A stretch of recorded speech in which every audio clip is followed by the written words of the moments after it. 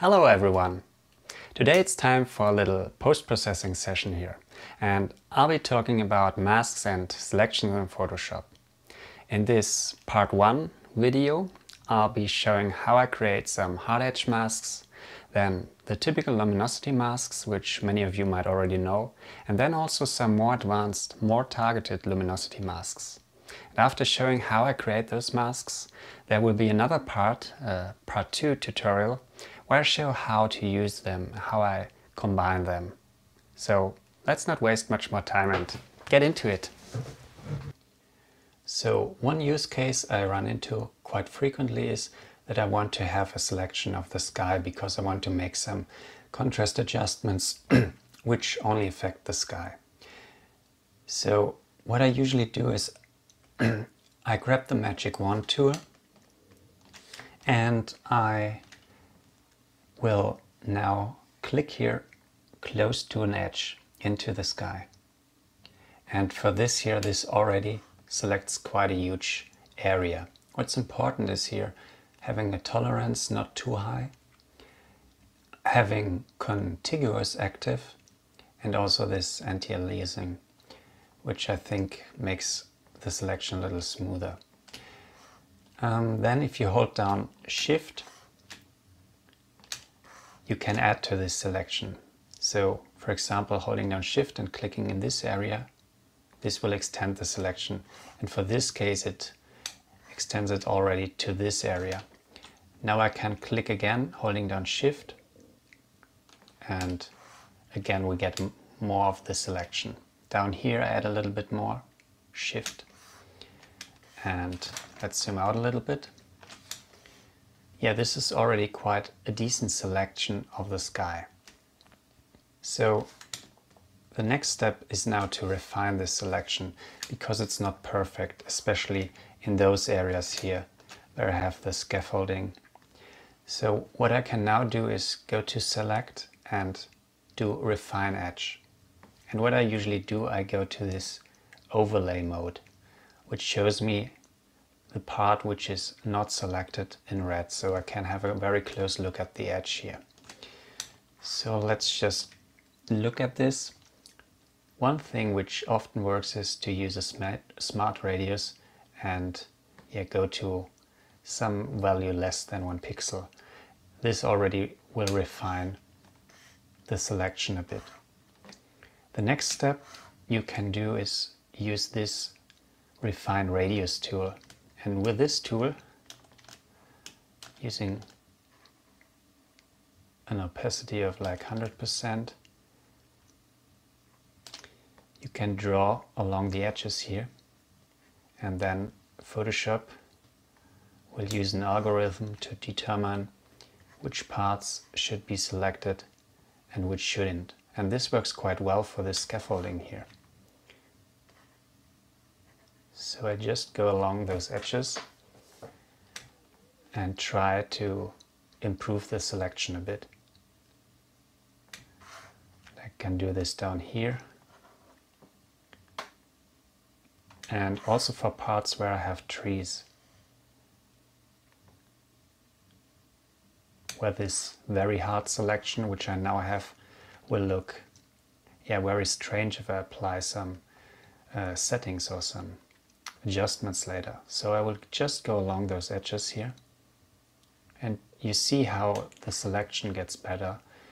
It's it gets some um, yeah half transparent areas in between those leaves and the edge is less hard after apply, I apply this. It doesn't often work like this but you can always try to improve the selection this way.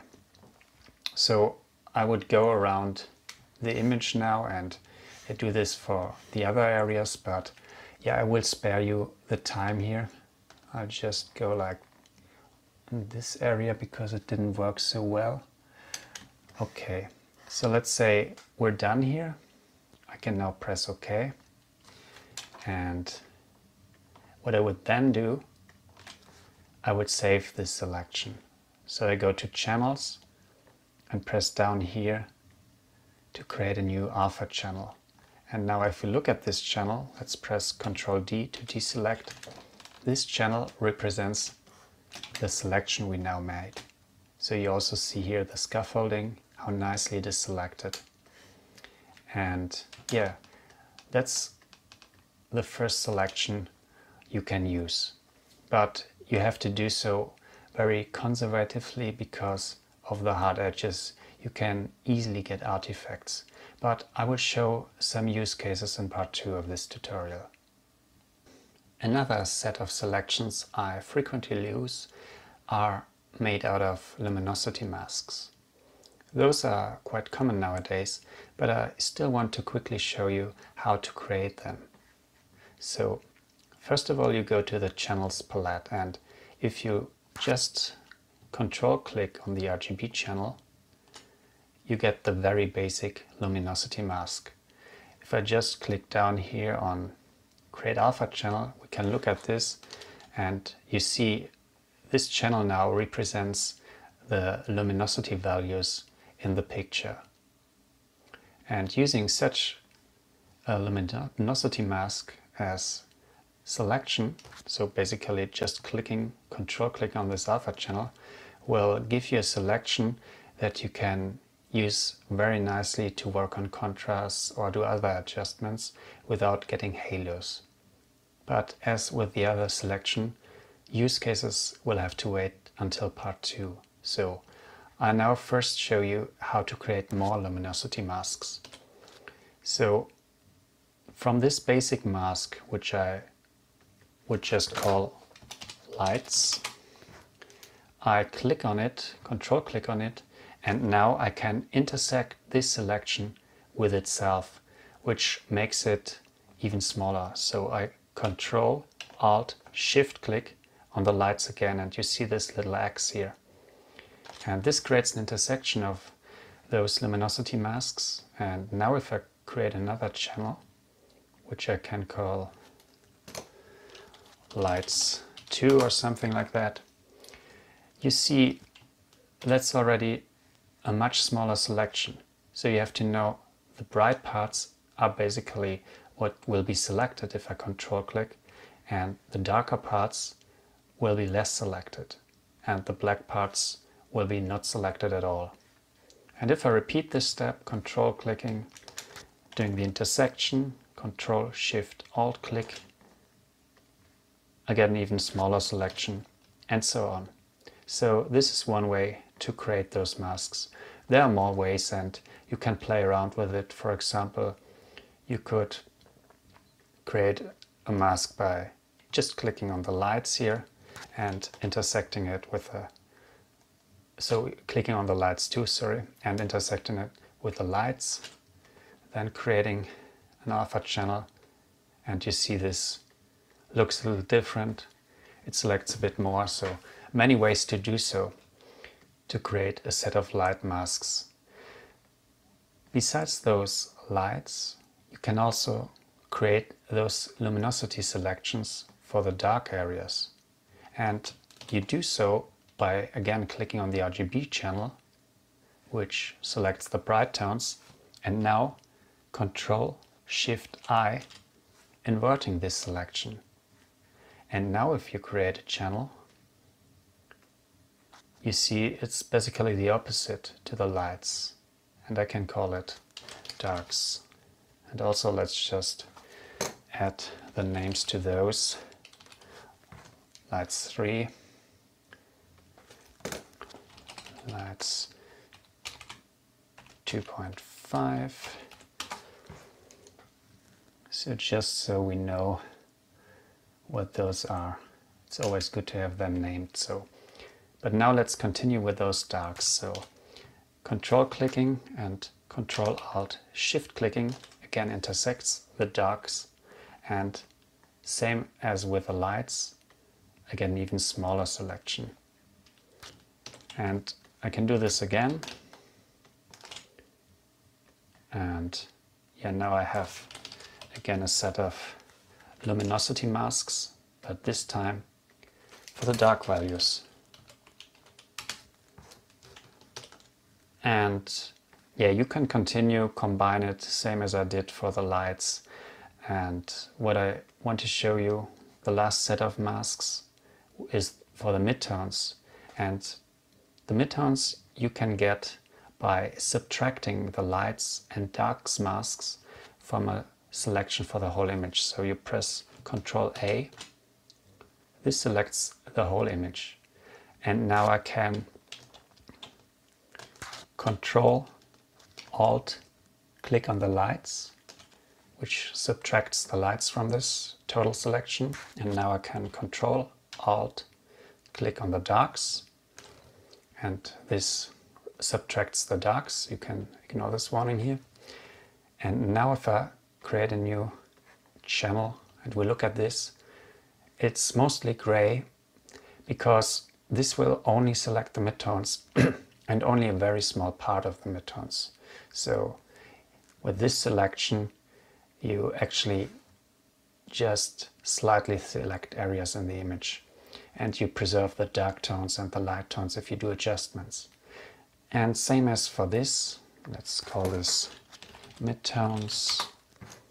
You can create other midtones. So again, let's just Control A, select everything, then Control Alt, click on lights 2 to subtract them, and now Control Alt on darks 2 to subtract them. And what we get, we get the midtones 2. Yeah, and there's no fixed recipe here. You can combine it just as you need it. So you could subtract the lights from this uh, alt uh, of this total selection and the darks 3 if you want. So, so combine it as you want or as you need. But yeah, this is the basics of creating luminosity masks. So this was quite easy and basic and with those masks you already have very options when processing the image but I want to show you a little more advanced way, a little yeah, variation of the luminosity masks. So you can create a completely new set or a very targeted set of luminosity masks if you do some adjustments to the image first. For example, let's say, well, let's, let's look here at the lights again. Currently, this is the basic selection and the very bright areas are what's selected and this is mostly here in the city. But let's say I want to try to create such a luminosity mask which mostly selects the sky. What I can do, I create a black and white layer here and I do an adjustment. So I darken the warm areas, so basically the city, and I brighten the blue areas, the blue tones, which are mostly in the sky. I don't go too much because I want to avoid too harsh contrasts.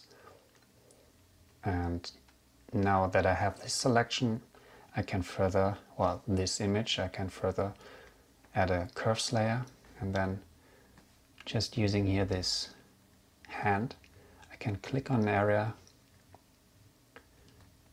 here at the Vatican and now click on the sky and brighten it, so further increasing the contrast.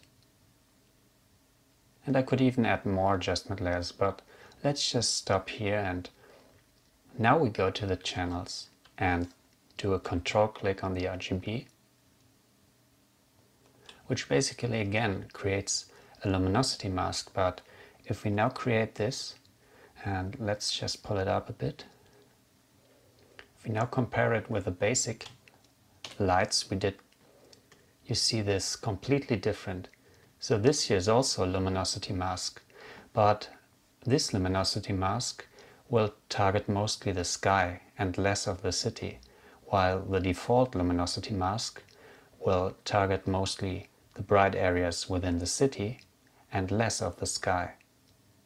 So you see there's a lot more to luminosity masks than simply starting with a base image and creating the luminosity masks. By first applying some adjustments to the image and trying to yeah, target specific areas of the image, you can create very targeted luminosity masks. So there's yeah, no limit here.